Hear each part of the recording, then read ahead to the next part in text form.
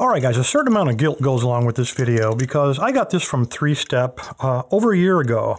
And when I looked at I tried to pick it, and when I found how difficult it was to pick this lock because it has incredibly strong springs, I set it aside, but I just didn't have enough time to, you know, figure it out, make a tensioner, blah, blah, blah, all the stuff that goes along with it. But now with this coronavirus, I got a little extra time. Thought this might be a great time and also to show you some some further developments that have happened in that in this last year, a year and a half. Um, on this guy, it works beautifully. And this actually comes with a neat story. This is stamped with the Pennsylvania Central Railroad, and these guys went out of business, I think it was 1976. And they were eventually consolidated by the U.S. government into Conrail, which I, I think is still around. Um, for those of you who are interested about the history of the Penn Central, there's actually a book about it called The Wreck of the Penn Central that talks about some of the successes and failures. Doesn't talk about this lock, but talks about the history of the railroad. So let's get back to this lock. Stop flapping your lips, Bill. Um, on the key, kind of a weird key. There is a central shaft here, and we got a little cut right there. Now, when we look inside of here, it's shaped, the keyway is kind of odd. It's shaped like the number, the numeral 9 with a little hole right in the middle for that central shaft.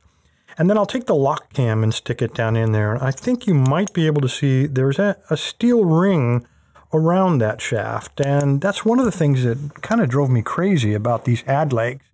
Um, there's a cut in the key there. And what that is for is to prevent you from taking a wire, shoving it against the back wall, and then tensioning the lock. It's kind of an anti-picking thing.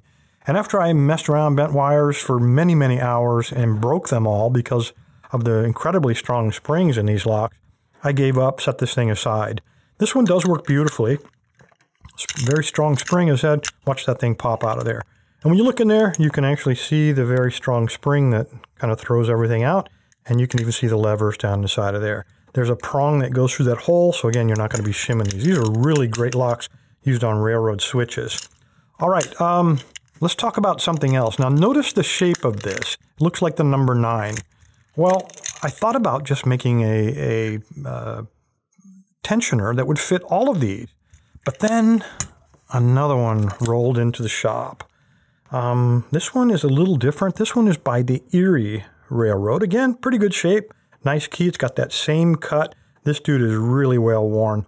But when you take a look at the keyway on this one, it doesn't look, it looks like a, a mirror image of the number nine.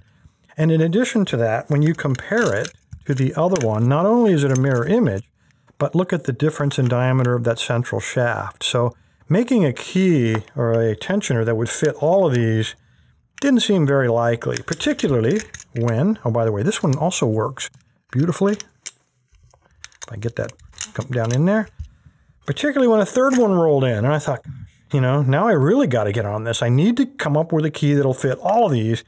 And then I've kind of flipped this aside. This one did not come with a key. And very cool. March 20th, 1920, Pennsylvania Rail Yard, I believe that is. Um, flip it open and yet there's a third style keyway. And this is more traditional.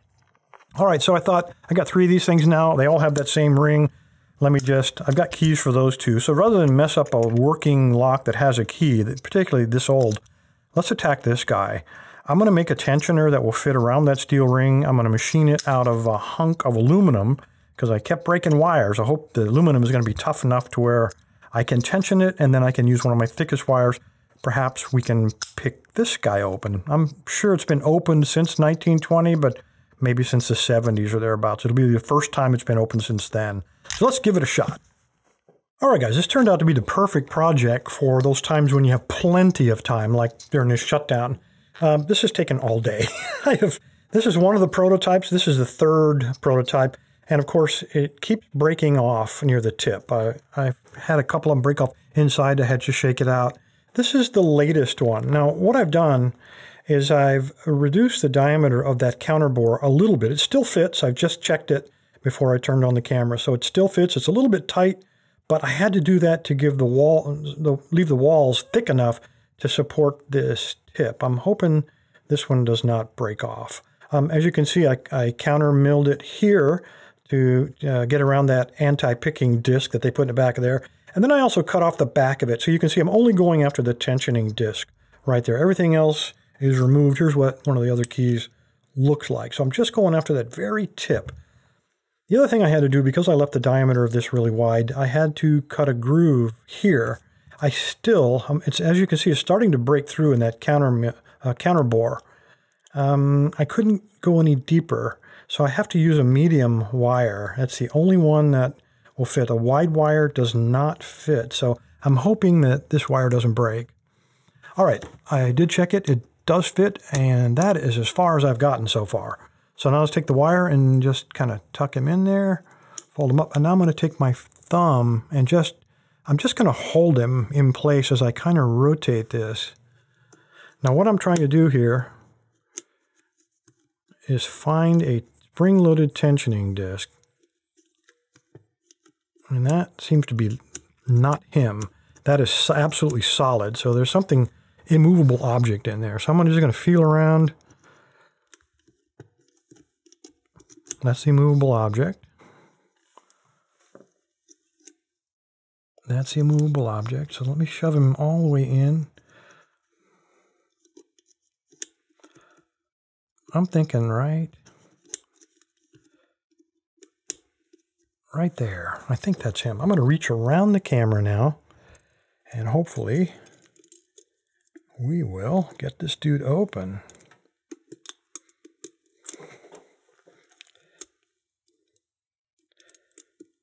Nope.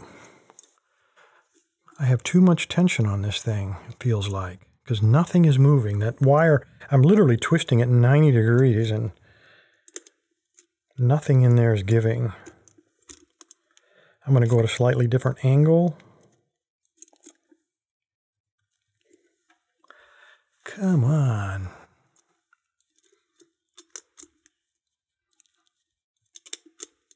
All right, let's shove him all the way back. And that's a movable object right there. He's not going any further. That feels like it might be him. Let's try that one. He's a little, it allows me to rotate a little bit further. Oh, there's one. Either that or the tip of my wire broke off, but he's still spinning. He's still grabbing. Come on. There's another one. Felt a little give on the core. Let's turn it. Um, I don't want to break that thing. Hold on. There we go. Look at that. Nothing to it. That's probably the first time he's been open in a long time. Nobody's been in your keyhole for a while, huh? Anyway, guys, all day to come up with a, a one-time use tensioning tool. I can't believe it. But after a year, a year and a half, however long it's, I've had uh, three steps lock. I'm glad to finally, uh, finally get this one out of the naughty bucket. Three step. You've been very patient. You have not sent me any hate mail. I appreciate that. So in return, I'm going to give you this lock. I'm going to obviously return your lock with its key and I'm also going to throw in this other one that I bought complete with the key. The one from, where was he from? The Erie, I think it was from Erie Railroad. Anyway, guys, appreciate your time. Stay safe, stay legal, stay healthy. Thanks again, Three Step.